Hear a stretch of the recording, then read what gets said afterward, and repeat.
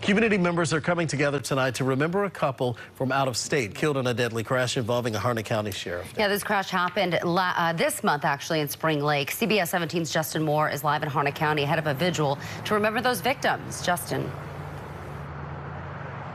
That's right. That visual starts in less than an hour at 7 o'clock. And uh, that family, that couple who died here at this intersection are not from uh, this area, but their deaths weigh heavy on the hearts of people here in Harnett County community.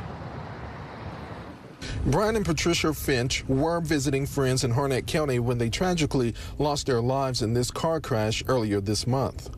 I thought, oh my Lord, I could have been sitting there with my granddaughter and have that happen to me. Video shows the accident at the top of the screen. A Harnett County Sheriff's deputy slammed into the couple's truck at this intersection of North Carolina 210 and Ray Road in Spring Lake. According to the sheriff's office, the deputy was attempting to make a traffic stop on another car, a car seen speeding just before the Finches entered the intersection. By the deputy following basic protocols and, and clearing an intersection before they go barreling through it.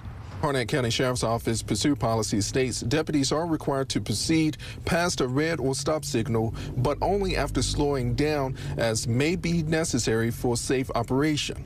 If it is found that he didn't follow protocol, I think he should be held accountable just like everybody else should. This evening, the Harnett County community is coming together for a visual for the Minnesota couple. Just to honor the family and show that we care. Now, the visual again starts at 7 o'clock right here at the corner of Ray Road and Highway 210. Now, right now, that case is still under investigation by state troopers. Live in Harnett County, Justin Moore, CBS 17 News. And last we heard that trooper is expected to be okay, so, or that deputy rather. Justin, thank you.